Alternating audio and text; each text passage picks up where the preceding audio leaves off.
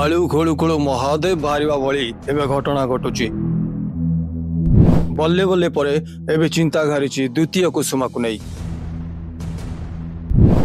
ପୁଣି ମାୟା ଜଲରେ ଛନ୍ଦି ହେଲେ ଧର୍ମଶାଳାର ପ୍ରଣବ ବଳବନ୍ତ ଦ୍ୱିତୀୟ କୁସୁମା ନାଁରେ କୋଟି କୋଟି ଟଙ୍କା ଦୁର୍ନୀତି ଅଭିଯୋଗ ସ୍ଥାନୀୟ ଲୋକେ ଯାହା କୁହନ୍ତି କି ଷୋହଳ କୋଟି ଟଙ୍କା ଆସିଥିଲା ହେଲେ ସେଥିରୁ ସମୁଦ୍ରକୁ ସଂଖ୍ୟା ଭଳି ମାତ୍ର ଖର୍ଚ୍ଚ ହୋଇ ଦୁଇ ହଜାର ଉଣେଇଶରୁ କାମ ବନ୍ଦ ପଡ଼ିଛି। ପ୍ରଣବଙ୍କ ନାଁରେ କୋଟି କୋଟି ଟଙ୍କାର ଦୁର୍ନୀତି ଅଭିଯୋଗ ଆଣିଛନ୍ତି ସ୍ଥାନୀୟ ବାସିନ୍ଦା। ଯାଜପୁରର ପ୍ରଥମ କୁସୁମ ପରେ ଏବେ ବିବାଦରେ ଧର୍ମଶାଳାର ଦ୍ୱିତୀୟ କୁସୁମା। ଧର୍ମଶାଳାର କଣ୍ଟିଗଡ଼ିଆ ଗାଁରେ ଅଛି ଆଉ ଏକ କୁସୁମା ଯାହାକି ଦୀର୍ଘ ବର୍ଷ ଧରି ଅଧା ଅଧି ତିଆରି ହୋଇ ପଡ଼ି ରହିଛି।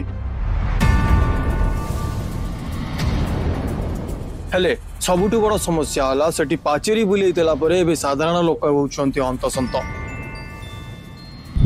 ଜିତୁ ଭାଇଙ୍କ ପଛ ଛାଡୁନି ବିବାଦ। ଯେଉଁଠି ଗାଁର ବଡ଼ ପୋଖରୀ ଥିଲା ସେଠି କାହିଁକି ହେଉଥିଲା ଦ୍ୱିତୀୟ କୁସୁମା? ଏଥିପାଇଁ ପର୍ଯ୍ୟଟନ ବିଭାଗ ପକ୍ଷରୁ ଦଶ କୋଟି ଟଙ୍କା ମଞ୍ଜୁରୀ ବି କରାଯାଇଛି କେଉଁ ବାଟରେ ଖର୍ଚ୍ଚ ହେଲା ଅନୁଦାନ ପୁରା ପ୍ରୋଜେକ୍ଟ ପାଇଁ କଷ୍ଟ ଥିଲା ଷୋହଳ କୋଟି ଟଙ୍କା ହେଲେ ସେ ଟଙ୍କା ଗଲା କୁଆଡ଼େ? କାହିଁକି ବନ୍ଦ ହେଇ ପଡ଼ିଛି ଏ ପ୍ରୋଜେକ୍ଟ କୋଉ ଡିପାର୍ଟମେଣ୍ଟ ଏହାକୁ ଖର୍ଚ୍ଚ କରୁଥିଲା? ଏସବୁ ତଥ୍ୟ ବର୍ତ୍ତମାନ କାହା ପାଖରେ ନାହିଁ। ଦୁଇ ହଜାର ଉଣେଇଶ ମସିହାରୁ ଆରମ୍ଭ ହୋଇଥିବା ପ୍ରୋଜେକ୍ଟ କାହିଁକି ହଠାତ୍ ପାଞ୍ଚ ବର୍ଷ ତଳୁ ବନ୍ଦ ପଡ଼ିଛି? ଯାହା ଆସିଥିଲା ଖର୍ଚ୍ଚ ହେବାକୁ ତାର ୱାନ୍ ପରସେଣ୍ଟ ବି ଏଯାଏ ଖର୍ଚ୍ଚ ହୋଇନି।